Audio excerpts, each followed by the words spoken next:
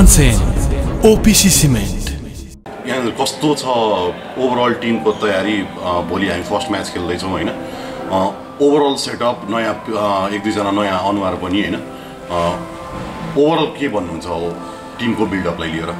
First of all त अब team हामी एकदम ब्यालेन्स जस्तो लाग्छ है हेर्ने हो भनेदेखि अब experience player experience players plus अब नयाँ नयाँ प्लेयर्सहरू पनि आइरहेको छ है जुन टिमको लागि अहिलेको नेपाल क्रिकेटको लागि खाँचो पनि छ जस्तो लाग्छ है त्यो हिसाबले हेर्ने भने एकदम ब्यालेन्स पनि छ जसमा अलराउन्डरहरू पनि त्यतिकै रहेको छ बलिङ पनि रहेको छ होइन अल्दो हामीले अब एउटा नेम मिस गरे पनि तर स्टर्न रिजनको लागि चाहिँ आई थिङ्क हामीसँग चाहिँ त्यो सेटअप छ होइन खालि जस्ट अब त्यो पेपरमा मात्र नभएर अब हाम्रो पर्फर्मेन्समा चाहिँ देखाउन जरुरी छ। भनौँ न अब हामी mostly we are associated with this person of cricket भनौँ ट्वेन्टी ट्वेन्टी हामी लास्ट वान इयरमा एकदमै धेरै खेलेको छौँ। हामीले खेलेको भनेको इमर्जिङ नेसन्स कप र अनि त्यसपछि रिसेन्टली लिग टू खेल्यौँ हामीले। लिग टूको फर्स्ट ट्राई सिरिज खेल्यौँ होइन? फर्मेटलाई लिएर चाहिँ टिममा कतिको कन्फिडेन्स छ त? होइन अब खास गरेर जुनियर प्लेयर्सहरूलाई हेर्ने हो भनेदेखि अब टी ट्वेन्टी नै धेरै खेलेर अब आएको छ होइन? सो कन्सिडर गर्दाखेरि पनि उहाँहरूलाई चाहिँ टी ट्वेन्टी बढी सुट गर्छ होइन? अब अल्दो हामीले फिफ्टी ओभर्समा चाहिँ जुन किसिमको अहिले अझ एक्सपोजरहरूको कमी भइरहेको छ होइन? कम्पिटेटिभ क्रिकेटको चाहिँ होइन? अनि टी ट्वेन्टीमा पनि त्यही जस्तो लाग्छ। टी ट्वेन्टीमा पनि अब हामीले लास्ट टाइम सिङ्गापुरको बायोलेटर र ओमानलाई छोड्ने हो भनेदेखि हामीले त्यो बायोलेटर सिरिजहरू पनि खेल्ने एकदम कम छौँ हामी। होइन सो त्यसले गर्दा त्यो एक्सपिरियन्स त्यो एउटा एक्सपोजरको चाहिँ जुन कमी हुने गर्थ्यो होइन त्यो चाहिँ पाइरह अब अब न अहिले यसपालि पायौँ। तर अझ चाहन्छौँ कि अझ बाहिर सिरिजहरू जहाँ चाहिँ अझ यो यङ प्लेयर्सहरू चाहिँ अझ निक्लियोस् जसले गर्दाखेरि चाहिँ मेन इभेन्टमा आउँदाखेरि चाहिँ एउटा कम्प्लिट प्लेयर भएर चाहिँ आओस् भन्ने चाहन्छौँ है। सो अब त्यो नभए पनि अब त्यो एटलिस्ट अब अहिलेलाई चाहिँ जुन खालको क्रिकेट खेलेर आए पनि आई थिङ्क त्यसले सुट पनि गर्छ र राम्रो पनि गर्छ रिजल्ट दिन्छ जस्तो लाग्छ। टुर्नामेन्टमा थाइल्यान्ड मात्र एउटा यस्तो टिम हो जो चाहिँ अलिकति लोवर ऱ्याङ्क भनौँ न होइन। अनि त्यसपछि रिसेन्टली मलेसियाले पनि हङकङलाई फाइभ जिरो वाइट वास गरेको छ होइन। हङकङ आफै पनि हामीसँग एकदमै फेमिलियर अपोनेन्ट हो होइन। यो हिसाबले अनि अर्को सिङ्गापुर पनि छ जोसँग चाहिँ हामी were defeated against them last time त्योभन्दा अगाडि चाहिँ अनि त्यसपछि पछि आएर हामी जित्यौँ सिङ्गापुरमै होइन। कतिको टफ हुन्छ जस्तो लाग्छ यो क्वालिफायर? अलिकति ट्रिकी छ जस्तो लाग्छ कि लाग्दैन? अब जहिले पनि कुनै पनि गेम भनेको ट्रिकी नै हुन्छ खास गरेर अब क्वालिफायर जस्तो भन्ने कुरामा जहाँ चाहिँ अब सानो एउटा भनौँ न मिस्टेक्सले गर्दाखेरि चाहिँ अब अगाडि बढ्नबाट रोक पनि लाग्छ होइन? जुन लास्ट इयर हामीले अब फेस पनि गऱ्यौँ। यसपालि चाहिँ अब त्यही अब टिमहरू कस्तो के भन्दा पनि आफ्नो गेमलाई चाहिँ कसरी अझ अगाडि बढाउने आफ्नो गेम अनुसारले चाहिँ कसरी खेल्ने होइन? मेरो विचारमा अब हाम्रो जुन पोटेन्सियल होइन अनुसारले हामी खेल्छौँ भनेदेखि चाहिँ हामी जित्नुपर्छ। यो टिमहरूलाई चाहिँ सजिलै जित्नुपर्छ र अगाडि पनि बढ्नुपर्छ जस्तो लाग्छ। तपाईँ आफ्नै पर्फर्मेन्सलाई लिएर चाहिँ कसरी हेर्नुहुन्छ? यो opening once opening for the team once again होइन? त्यो चाहिँ कसरी हेर्नुहुन्छ? होइन अब जहिले पनि अब रोलको कुरा आउँछ है। अब टिम गेममा भनेको अब रोल कसरी पहिलोमा टिमको लागि चाहिँ कसरी राख्ने भन्ने कुरा आउँछ न कि इन्डिभिजुअललाई कसरी सेटल गर्ने भन्ने कुरा आउँदैन है।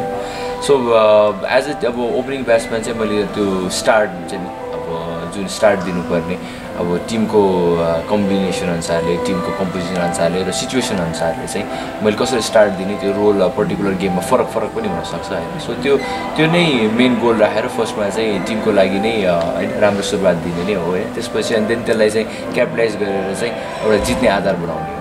पारस र तपाईँले नै ओपनिङ गर्ने भोलिको यो टुर्नामेन्टमा स्पेसली होइन अब अलमोस्ट अब त्यसलाई अब अहिले अझ डिसाइड गरिहाल्नु पनि मिल्दैन। तर मोस्टली ओभरअल अब भनौँ न अब recently we have discovered a new talent in Kushal Malla होइन and there are few more players होइन are quite young but have been doing pretty well in this shorter version of the game भनौँ न जस्तै आरिफ शेखले पनि राम्रै खेल्दै आइरहनु भएको छ होइन अनि दिपेन्द्र सिंह अहिले has also been in a good touch in this format अनि त्यसपछि there are few more people has well होइन टिमलाई चाहिँ ओभरअल ब्यालेन्सको रूपमा चाहिँ कसरी हेर्नुभएको छ होइन अब त्यही भनिहालेँ जस्तो अब जहाँ चाहिँ अब जुन अब आरिफहरू जहाँ चाहिँ अब दुई तिन वर्ष भइसक्यो टिमसँग भइरहेको जुन एउटा एक्सपिरियन्स पनि त्यो काउन्ट गर्छ जुन अब जहाँ नयाँको कुरा गर्ने भनेदेखि जस्तो कुशललाई हेर्ने अब सन्दीप जोरा अब लास्ट इयरदेखि आइरहेको छ किशोर महतो टिममा आएको छ सो त्यो सँगसँगै अब हामीसँग करेन्ट केसेस भनौँ न एज अब अलराउन्डर अब भनौँ न बलिङ अलराउन्डरको हिसाबले इमर्ज गरिरहेको छ होइन टिममा होइन। सो अब पारस दिपी अब हामी उनीहरूबाट अब एज अ ब्याटिङ अलराउन्डर पनि एक्सपेक्ट गर्न सक्छौँ होइन। अब बलिङमा अब सन्दीप होइन सन्दीप छ सुशान्त भारी एकदम राम्रो पिक पनि गरिरहेको छ। होइन भुवन कार्की अब जुन पहिलादेखि टिममा थियो र कमब्याक गरिरहेको छ अब त्यो उसको पनि भनौँ न बलिङ प्लस फिल्डिङ र भनौँ न ब्याटिङ पनि क्यामियो होइन सानो सानो गर्न सक्छ भन्ने हिसाबले हामी टी ट्वेन्टीमा चाहिँ। लास्ट इयर उसको पर्फर्मेन्सको आधारले पनि उसलाई चान्स दिएको छ। सो त्यो हेर्दाखेरि चाहिँ अलमोस्ट टिममा चाहिँ अब भनौँ न त्यो सँगसँगै अब पारस अब आफूमा पनि एउटा म्याच विनर भएको हिसाबले चाहिँ टिममा एउटा राम्रो ब्यालेन्स छ जस्तो लाग्छ होइन। जस्ट अब त्यो चाहिँ गएर त्यहाँ गएर ग्राउन्डमा गएर पर्फर्मेन्स मात्रै दिनुपर्छ जस्तो लाग्छ कि। हामी last time world twenty twenty क्वालिफायरको eastern रिजनमै होइन we are beaten when everyone was expecting us to win that tournament we were beaten होइन। यो चाहिँ हामीले आफैले रिडेम्सन गर्ने टुर्नामेन्ट हो जस्तो लाग्छ कि लाग्दैन because this is tournament where we can make our self a presence to the Asia Cup होइन? यो चाहिँ हामी कतिको रिडेम्सन गर्नको लागि रेडी छौँ जस्तो लाग्छ। एकदम एकदम। अब मलाई जहाँसम्म लाग्छ जुन हिसाबले हामी नेपाल क्रिकेटलाई माथिल्लो स्तरको माथिल्लो लेभलको क्रिकेट टिमको हिसाबले आँक्ने हो भनेदेखि चाहिँ हामीले हामी त लो ऱ्याङ्क र हामी हामी जतिको टिमलाई चाहिँ सजिलो हराउन सक्नुपर्छ। जसले गर्दाखेरि चाहिँ एउटा वर्ल्ड क्रिकेटमा पनि नेपाल चाहिँ भनौँ न एउटा इमर्जिङ टिमको हिसाबले पनि एउटा छाप छोड्न जरुरी छ जस्तो लाग्छ र जुन लास्ट इयर अब जुन हामी चाहिँ क्वालिफा क्वालिफाई भएर जुन चाहिँ हाम्रो अलिकति पर्फर्मेन्स बिलो पार रह्यो होइन। त्यो त्यसको लागि पनि कस्तो भनेदेखि त्यो हाम्रो क्रिकेट होइन भन्ने बुझाउनलाई पनि हामीले चाहिँ यो यो सिरिज चाहिँ जित्नुपर्छ जस्तो लाग्छ।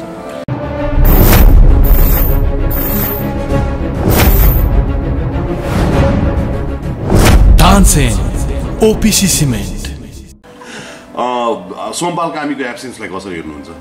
होइन अब लस होइन बिग लस होइन अब जुन हिसाबले हामीले एउटा प्लेयर्समा जति पनि एउटा भनौँ न एउटा कम्प्लिट प्लेयर हुनलाई जुन टाइम दिनु पऱ्यो त्यो भइसकेपछि अब उसलाई मिस गर्नु भनेको अब टिमको लागि पनि लस हो होइन। अब त्यसमा फेरि नयाँ प्लेयरलाई त्यतिको एफर्ट त्यतिको भनौँ न टाइम कुनै पनि सायदै पाउन सक्ला होइन। अब जुन हिसाबले ऊ एज अ अलराउन्डर इमर्ज गराएको थियो एउटा सिनियर प्लेयर एउटा टिममा चाहिँ हुन्छ नि उसको प्रेजेन्सको पनि धेरै कुराहरू रहन्थ्यो होइन।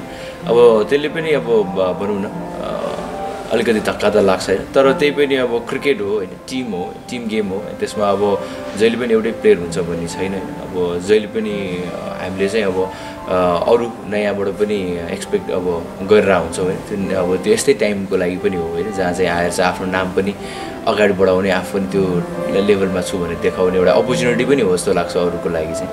हामी लङ टाइमदेखि भइसक्यो ट्वेन्टी ट्वेन्टी खेलिरहेको in fact it's been since two thousand nine भनौँ न टु थाउजन्ड सेभेन होइन त्यहाँदेखि हामी स्टार्ट गऱ्यौँ हामी खेल्नको लागि बट एउटै क्वेसन जहिले पनि आउने कुरा चाहिँ के भनेदेखि except Paras where is the fire fire power in the team batting fire power कतिको हामी गेन गरिरहेको छौँ त्यो कुरा चाहिँ ब्याटिङमा फायर पावर चाहिँ। होइन अब हेर्नु नै हो भनेदेखि त्यो जुन हामी टु थाउजन्ड सेभेनदेखि खेले पनि हाम्रो जुन क्रिकेट थियो हाम्रो जुन क्रिकेट खेल्ने तरिका थियो होइन। त्यो टी ट्वेन्टी उसलाई कहिले पनि सुट गरेको थिएन होइन?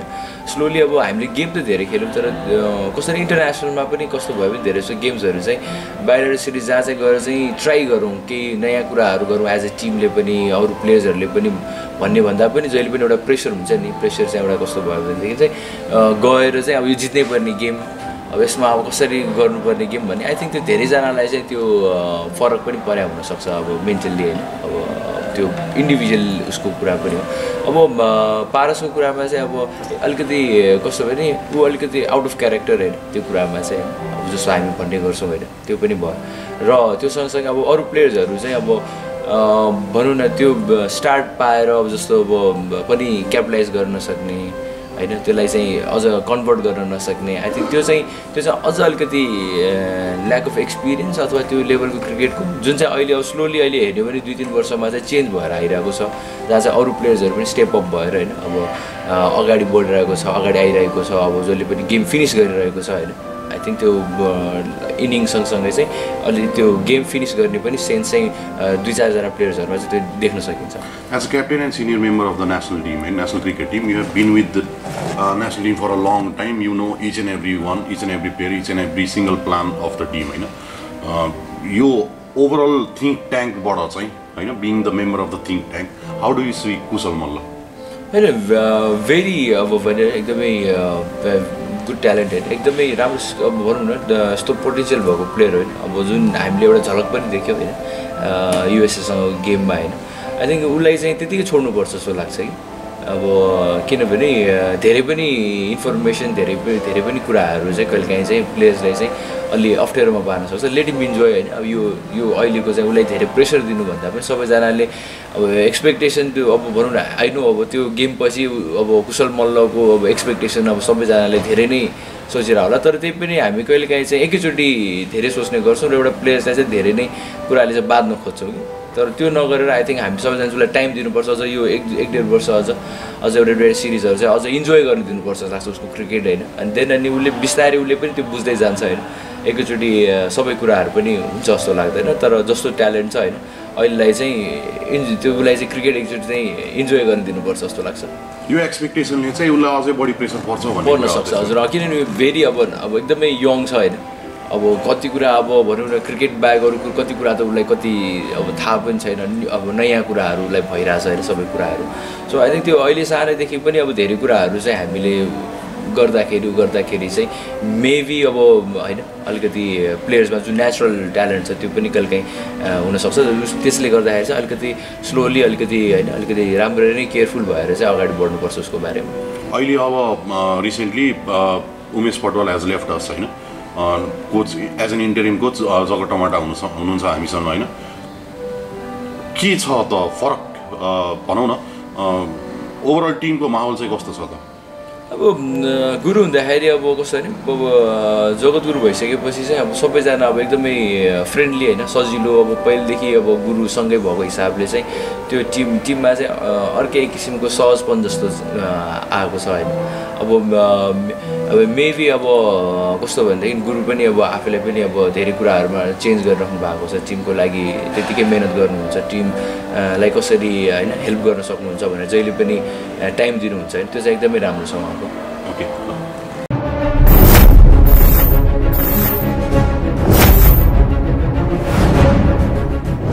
Tansen OPC cement